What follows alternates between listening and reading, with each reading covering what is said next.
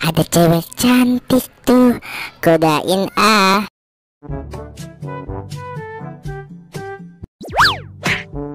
Dan aja neng.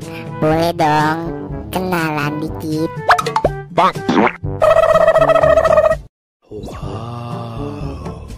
Ngomong-ngomong namanya siapa? Luci bang. Eh maksudnya Luci bang Jangan-jangan